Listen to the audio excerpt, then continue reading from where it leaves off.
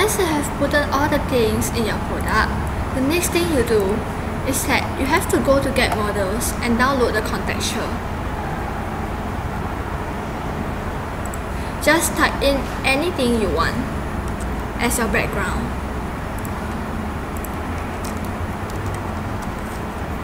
For this case, I shall type in garden.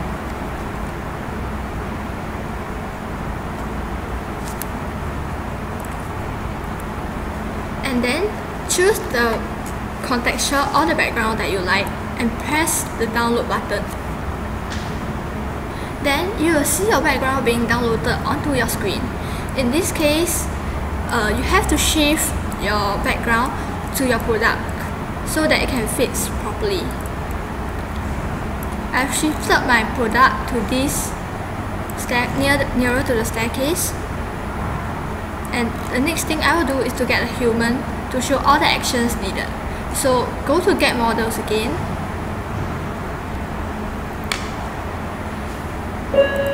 and type in 3D man.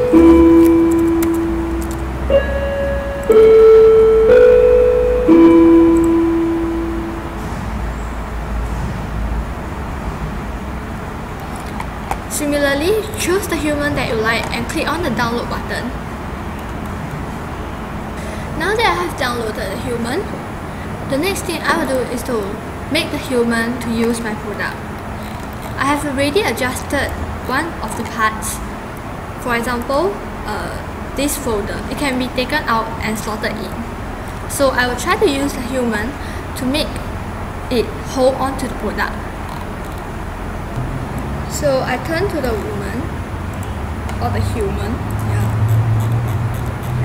I click onto its component mode. And then I use the, I click on the arm, and then I click on the arm, and I use the rotate tool to rotate it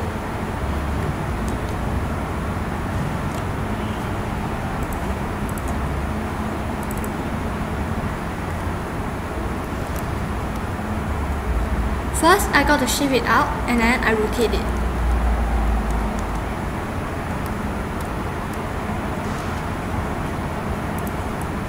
Next, I will try to make it fit the part where I want to show the features.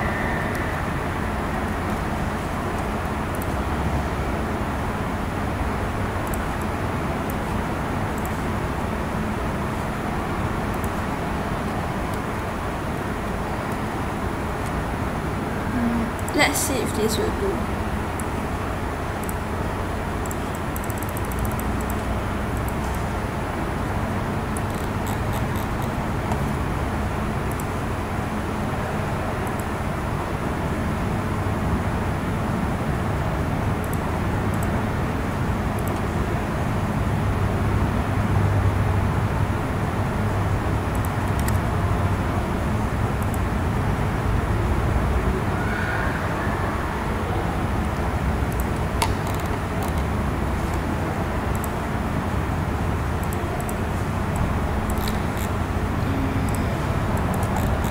So as you can see, the woman fitted the woman fits quite well.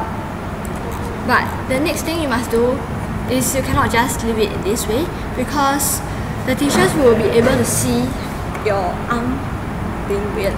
So you have to zoom in and export your picture in this manner so that no mistakes can be recorded or seen. Yeah, that's it.